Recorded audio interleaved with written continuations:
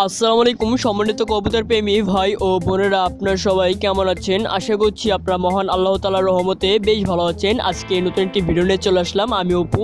So আজকে যে বিষয়টা নিয়ে আমি আলোচনা করব ভিডিও টপিকটা যেটার উপরে, সেটা হলো কীভাবে আপনারা হাই ফ্লাইং গিরিবাস কবুতর চিনবেন? হ্যাঁ ভালো মানের গিরিবাস কবুতর কীভাবে চিনবেন? এটা নিয়ে আজকে আমাদের চ্যানেলের ভিডিওটা সো চলুন ভিডিওটি শুরু করা যাক। ভিডিওটি শুরু করার আগে আপনাকে আমার ছোট্ট একটি অনুরোধ।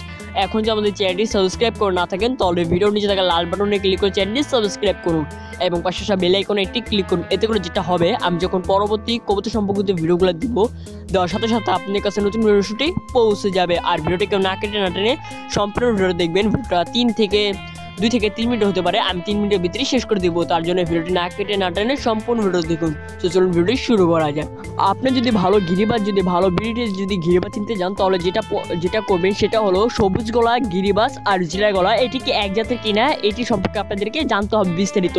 হ্যাঁ সবুজ গলা গিরিবাস আর জিরা গলা, এটি কি এক জাতের কিনা, এটি সম্পর্কে আপনাদের জানতে হবে, তারপর আপনাদেরকে ভালো মানের গিরিবাস এটি চিনতে হবে।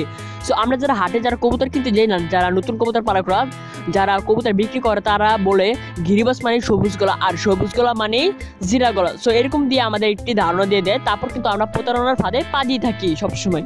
আর আপনারা সবসময় একটা জিনিস মাথায় রাখবেন, সেটা হলো সবুজ গলা জিরা গলা গিরিবাস কালদম, বাগা, মুসলদম। এটি কিন্তু সব গিরিবাজ জাতেরই, কেননা এটি নামকরণ করা হয়েছে যেমন কালার ওদের বৈশিষ্ট্য দেওয়া হয়েছে। এটি কিন্তু সব গিরিবাজ কবুতরই কালদম, মুসলদম, তারপর হলো জিরা গলা, বাগা তারপর ঘিয়াচুল্লি বোম্বাই এটি কিন্তু একটি গিরিবাজ জাতের কবুতর হ্যাঁ গিরিবাজ জাতের গিরিবাস কিন্তু একটি গিরিবাজ জাতের কবুতর। এটিকে নামকরণ করা হয়েছে, নামে ব্যবহৃত করা হয়েছে। এটি কিন্তু সব গিরিবাজ জাতেরই কবুতর।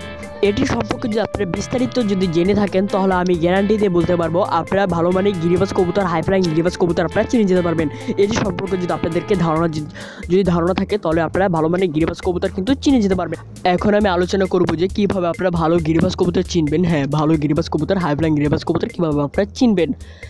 প্রথমে যে কাজটা করবেন ভালো গিরিবাজ চেনার জন্য, সর্বপ্রথম যে কাজটা করতে হবে সেটা হলো কবুতরের চোখটা একেবারে পরিষ্কার হতে হবে। ভালো গিরিবাজের কবুতরের চোখটা একেবারে উজ্জ্বল হতে হবে মানে পরিষ্কার হতে হবে। হ্যাঁ পরিষ্কার অর্থই উজ্জ্বল হতে হবে, একেবারেই উজ্জ্বল হতে হবে। অ্যান্ড দ্বিতীয় যে বিষয়টা, সেটা হলো কবুতরের চোখটা আপনার যে কোনো আলোর মাঝে অথবা আপনার রোদের মাঝে রাখলে দেখবেন কি চোখটা কাঁপাকাঁপি করবে। হ্যাঁ চোখটা একেবারে চোখের যে মনিটা, সেটা সহ কাঁপাকাঁপি করবে। তৃতীয় যে বিষয়টা সেটা হলো, কবুতরের চোখের যে মনিটা আছে, সেই মনিটা ছোট বড় হবে।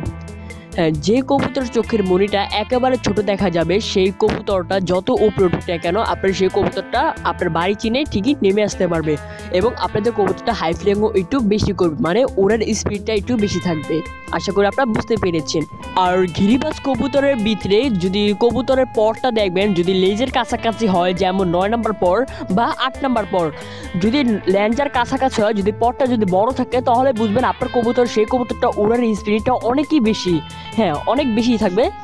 আশা করি আপনারা বুঝতে পেরেছেন। তো ভিডিওটি এই পর্যন্ত ছিল। শুধু নতুন কবুতর পালকদের জন্য যারা হাই ফ্লাই গিরিবাস কবুতর বা ভালো যার ভালো মানের গিরিবাস কবুতর চিনেন না, তাদের জন্য এই ভিডিওটা ছিল। যদি ভিডিওটি ভালো লেগে থাকে, তাহলে ভিডিওর নিচে থাকা লাল বাটনে ক্লিক করে চ্যানেলটি সাবস্ক্রাইব করবেন এবং পাশে আসা বেল আইকনে এটি ক্লিক করে দিবেন। এতে করে যেটা হবে, আমি যখন পরবর্তী কবুতর সম্পর্কিত ভিডিওগুলো দিব, নিত্য নতুন ভিডিওগুলো দিব, দেওয়ার সাথে সাথে আপনার কাছে নতুন ভিডিওটি পৌঁছে যাবে। ফর ওয়াচিং দিস ভিডিও আর ভিডিওতে একটি লাইক করে দিবেন।